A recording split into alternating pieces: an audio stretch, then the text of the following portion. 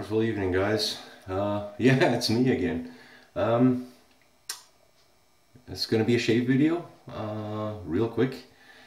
Well, real quick for me. Um, I uh, I was originally gonna just you know get on a quick shave before I do my seven sins of wet shaving video, which I've been nominated for. Um, but since I picked a soap that I haven't used on video yet, uh, the Proraso Red. Um, I kind of figured, you know, okay, let's turn on the camera. Even though it is going to be, uh, you know, uh, just a 24 hour stubble kind of shave. Uh, since I shaved yesterday on the on the live, which uh, was fantastic. I I really liked it. had great company, and yeah, it was kind of kind of like at the barber shops. Uh, at some point in time, things drifted away from shaving, and we talked about uh, you know, God knows what. So excellent, uh, love that. Right, so you've seen the soap, uh, Proraso uh, Red. This is the sandalwood, and this is this is fantastic. Um, it's a uh, softer soap. Might as well leave the lid off. Right? Softer soap and uh, I'd have to go back and see what I ordered but uh, I mean my first soap that I ever had was Colonel Conk and I think this was number two or number three. So I've had this for a very long time.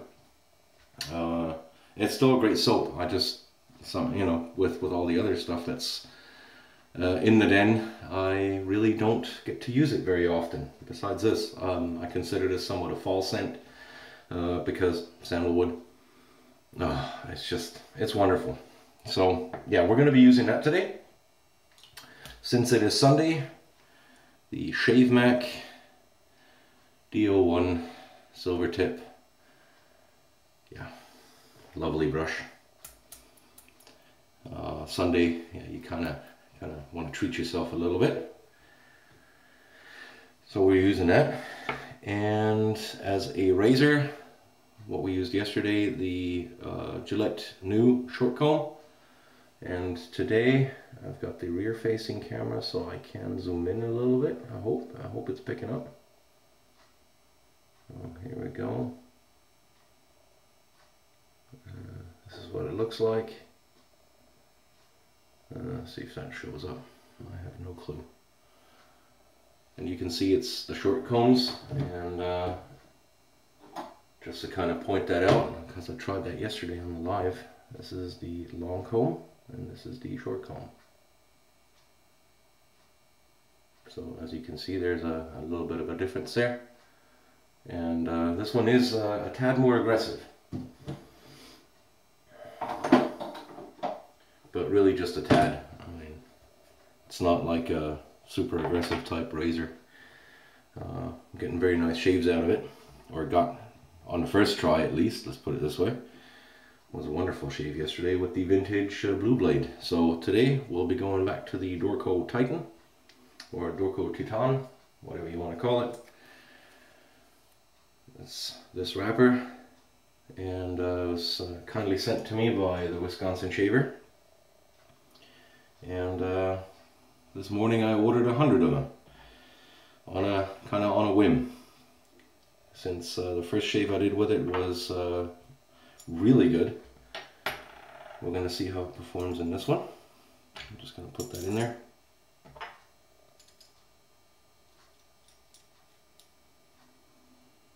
Just making sure that the alignment's right uh, with a vintage razor or basically with any razor. You wanna you wanna make sure that the blade is not sitting in there kind of crooked or skewed or anything like that. Also, what helps, have a look at how it's sitting in here like this. Um, some razors with some blades might kind of create a wavy contour. And you want to see that uh, that blade is straight. You don't want any waves in it. And let's see that's fairly straight. Probably about as straight as we'll get Not tighten down too much. Let's see if there's any difference. There we go. Nope, that's good. That's good. doesn't doesn't throw a, a wave. So that's one thing to watch out for. Uh, new and uh, and vintage razors that your blade is sitting in there right. So just uh, dip the tips a little bit because uh, although Proraso in the tub is a somewhat soft soap, it is one that is slightly thirsty I've found out. Now, this goes for any, any of the Pro products. You're going to want to use a little bit more water on them. If you go real pasty with them, found they dry out very quickly on your face. I mean, that stuff sets up like plaster of Paris. You can see it usually where it's a little thinner up here. And if you leave it on there, uh, it'll start drying out. And I mean, you know, it's, it's almost to the point where it's cracking a little bit when you, when you move your face. So, that's when you know you're a little too dry.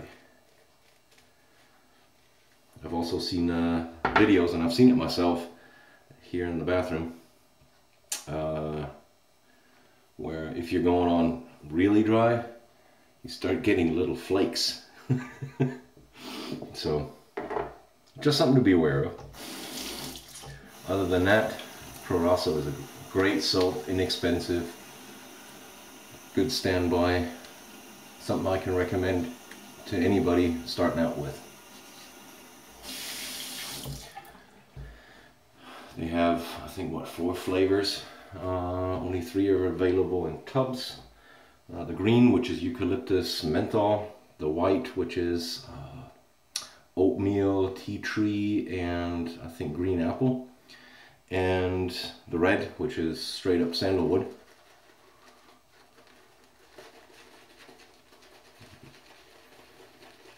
And this brush is, is a treat every time nice and soft. Decent amount of backbone.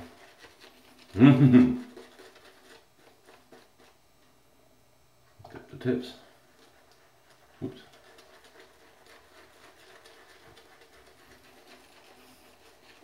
And Pro lathers up real nice. It's a really easy going soap.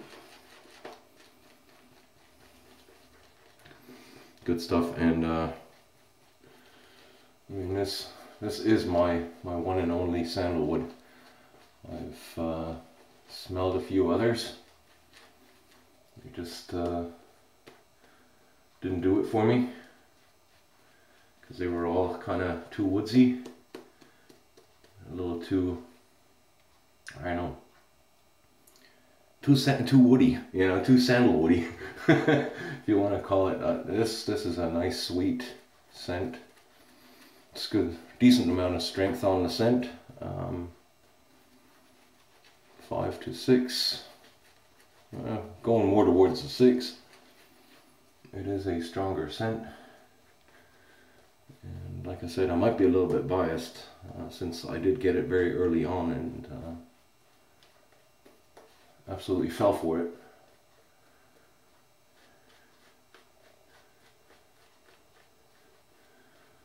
Now, unlike the other Pro in a tub, uh, I was gonna gonna say something about that. Uh, the fourth uh, flavor that they have is the blue, and it only comes in a tube. The blue is, um, I think, vitamin E and uh, I don't know what uh, aloe, I think, or something like that. Um, has a very nice, mild scent. It's also good. I have it in a tube, and I like it very much also do the white. The white is also good. But the white and the green have menthol, the blue and the red do not. The white having very little menthol, but it's noticeable. Gives you a nice bit of cooling effect. So, as you can see, that's on there fairly nicely. It's good stuff. Just to show you the, the brush, there we go. There's plenty of stuff on there. Alright.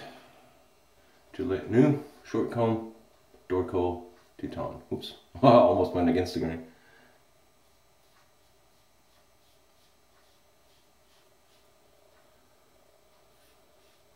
What you get for babbling. Uh, like I said, I don't have too much to take off.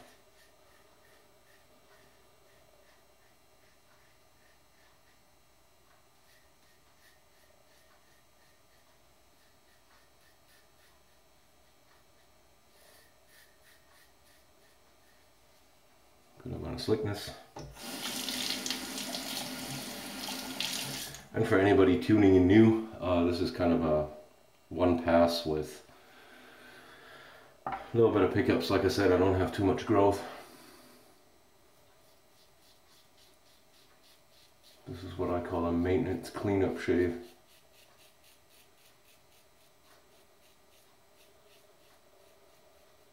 Do not recommend this to anybody new to the style of shaving. Uh, you you wanna figure out first what you can get away with.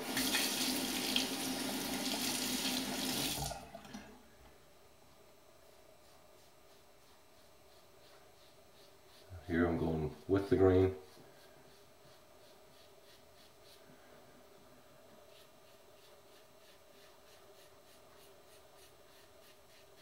Soap is nice and slick.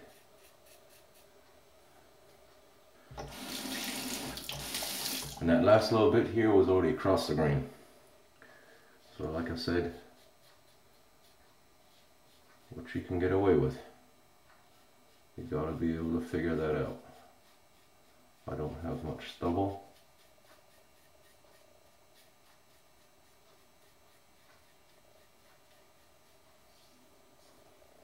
So, and this is what I've, uh, hold on, let me just wet the face a little bit. Get out the suds.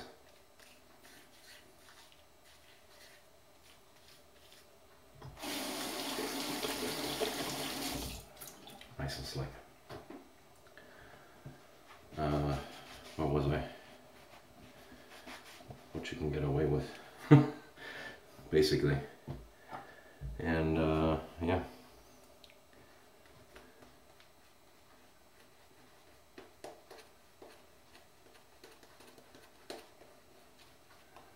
This would be somewhat reminiscent of, of what you could do in the morning.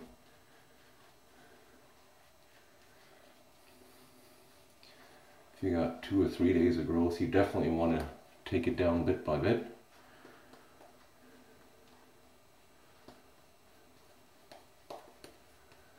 But like I said, this is already a somewhat advanced mode.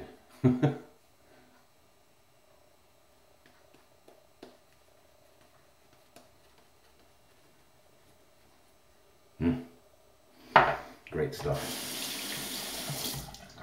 But I just wanted to get cleaned up.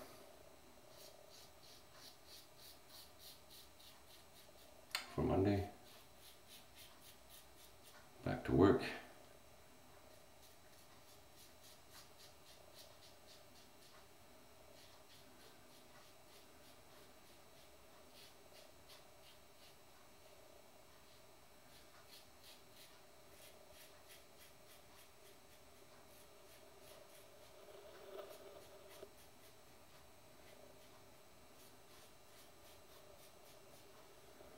Going against the grain.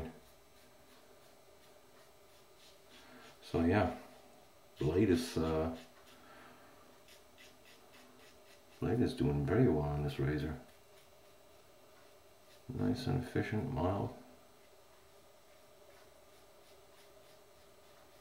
Not really mild. Um, it's it's doing a very very good job. You can feel that it's a sharp blade, but it's smooth. Smooth was the word I'm looking for.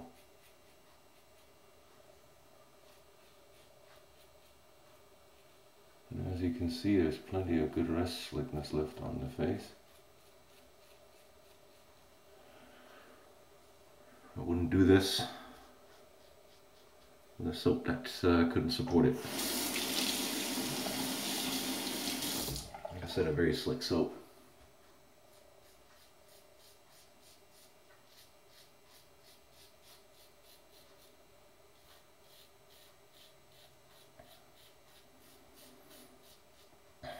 So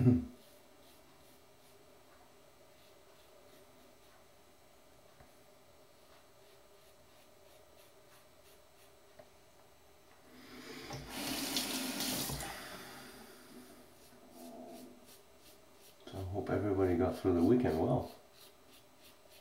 I know I'm not the chattiest right now.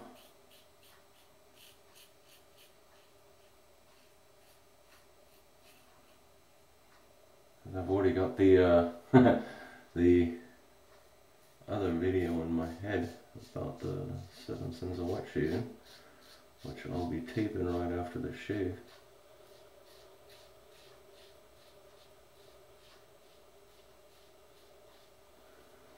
So,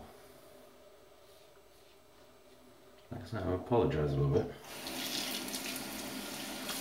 And whew, it's warm in here.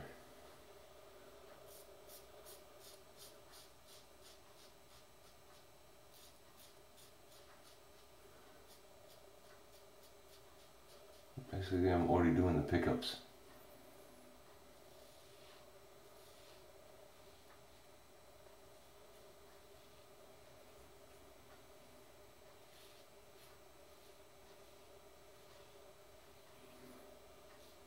Now this method, doesn't necessarily lend, lend itself to a BBS shave or DFS. It's just you're trying to clean up look decent. So basically real good for, for in the morning. You know, you don't have to last all day. Not trying to get super close. Alright. Just feeling around a little bit. Getting some of the leather out of the brush and this is not a big knot. think I got myself there.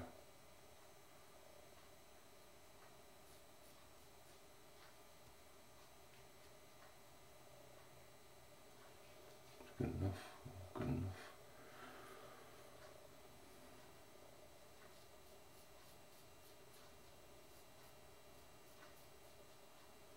Alright, that's it.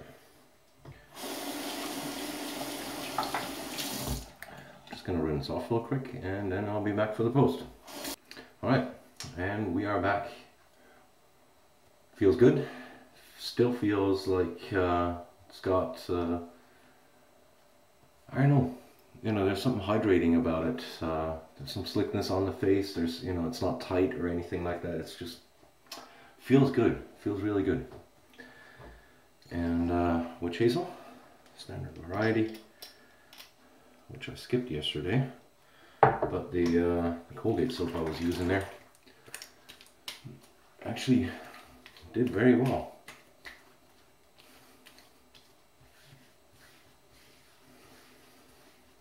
Didn't feel dried out or anything like that. So I'm very happy with it. That was a little surprise yesterday. Now as uh, today like I said, the uh, Proraso. Really nice, really nice suds. Great soap. Um, like I said, the only recommendation I do have, because it does tend to tend to dry a little bit, is that you, you know, you just kind of, it's a thirsty so thirstier soap. So, you know, don't, don't go skimping on the water. Um, just give it a try, see, see if you can, you know, get a little wetter on the face and uh, it's uh, I mean that's everybody's uh, own preference. I'm not saying it is what you have to do. But you know for, for somebody new that's using this soap try it out a little on the wet side. So while we are uh, drying off let's go through what we used. Proraso Red sandalwood scent fantastic. Absolutely brilliant stuff uh, for the money definitely. And uh, it's a great standard product. Can't really say much uh, negative about it. Uh, sure, it has an industrial uh, ingredients list, um, and there's a lot of stuff in there that you wouldn't have an artisan uh, on an artisan soap, but uh, it is an industrial product. and it's been around for a very very long time. Uh, I'd have to look, but it's definitely older. So brush today. Oops, need to clean this off. Uh, the the Shavemac D01 silver tip, fantastic brush. I love it. And uh, as a razor, the Gillette new short comb. Paired today with a Dorco Titan. This one. And this was its second shave. Did very well. Uh, smooth. Efficient. Uh, especially paired with this razor. I mean this razor, like I said, has a little bit more bite. Um, I'm actually gonna gonna see how that razor does with one of them trig blades.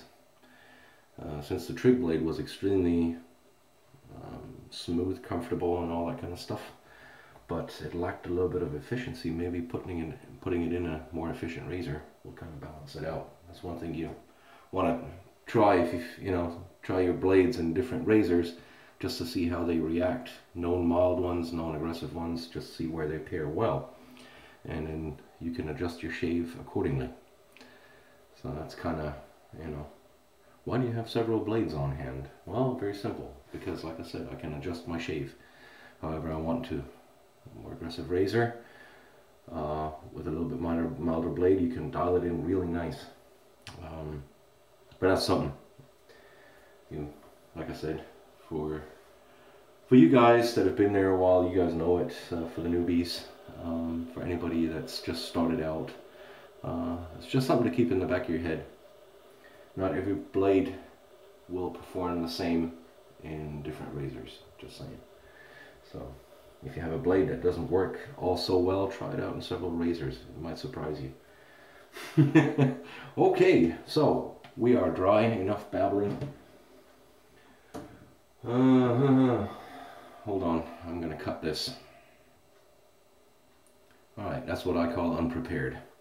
Um, right at the back of the cabinet, Proraso Red aftershave. Now this is a proper aftershave. It does have alcohol in it. Um, the blue I think only comes in a balm and the white only comes in a balm. So proper aftershave. But this has very nice properties also.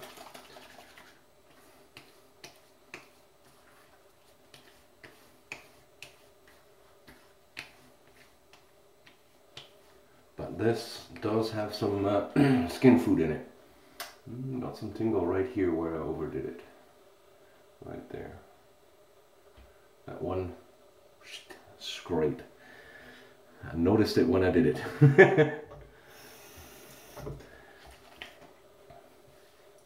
it's just a fantastic sandalwood scent. A little on the sweeter side, slightly spicy. Uh, just it, it lends itself to the colder months um, but it's not restrictive to it. This is just uh, it's a wonderful, wonderful aftershave. And all right, yeah, well, that's pretty well it. Um, I'll turn the camera off. I'll, like I said, see you probably, hopefully in a minute. uh, for you guys uh, with the other video. I'll just go clean up a little bit and then get my stuff ready for the Seven Sins video. In yeah, I hope you had a good weekend. I hope you guys are doing well. Uh, wish you a good start to Mondays, just in case we you're not inter uh, interested in the uh, Seven Sins video. And yeah, I'll probably, hopefully, see you Wednesday, if I can. Um, really good shave. Nice, clean, beautiful. And if you take a look at, you know, skip the babbling part that I, that I do before and after and during. Uh, it was a fairly quick shave. Um, so, yeah, it can be done in, within reasonable time. Okay, uh, like I said, I'm out before I start. Bye.